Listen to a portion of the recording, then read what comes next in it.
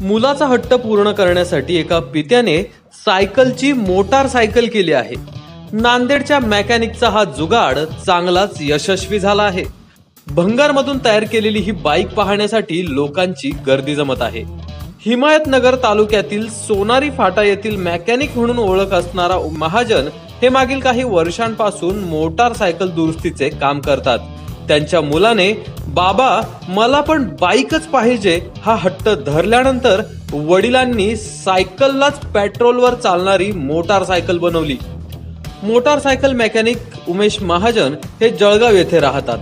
सोनाली फाटा येथे मागील काही वर्षांपासून महाजन हे मोटारसायकल दुरुस्तीचे काम करतात. त्यांच्या मुलाने मोटारसायकल बनवण्याचा हट्ट धरला होता.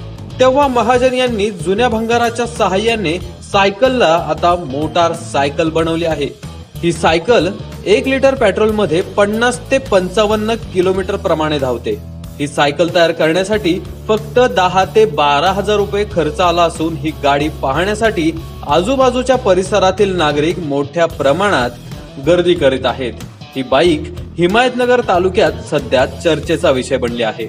या सायकलला ई सायकल बनवण्याचे त्यांचे स्वप्न आहे. गाडी बनवण्याचा माझा हेतूही होता सर की माझा मुलगा जो आहे मला सतत एक नाही एक सहा महिन्यापासून मला तगाद आला होता सर की पप्पा मी एक मोबाईलवर गाडी बघितली आणि मला सेम टू सेम तशी गाडी बनवून द्या. मी म्हणलो बा तशी तर गाडी होणार नाही परंतु मी माझ्या डोक्याने समजा माझं एक नाही हे लावून मी तुला गाडी बनवून देतो मी. मला जसं सुचल तसं.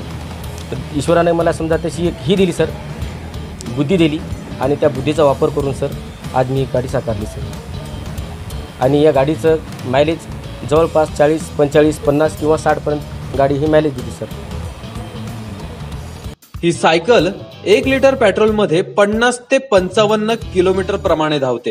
ही सायकल तयार करण्यासाठी फक्त दहा ते बारा हजार रुपये खर्च आला असून ही गाडी पाहण्यासाठी आजूबाजूच्या परिसरातील नागरिक मोठ्या प्रमाणात गर्दी करीत आहेत. ही बाईक हिमायतनगर तालुक्यात सध्या चर्चेचा विषय बनली आहे. या सायकलला ई सायकल बनवण्याचे त्यांचे स्वप्न आहे.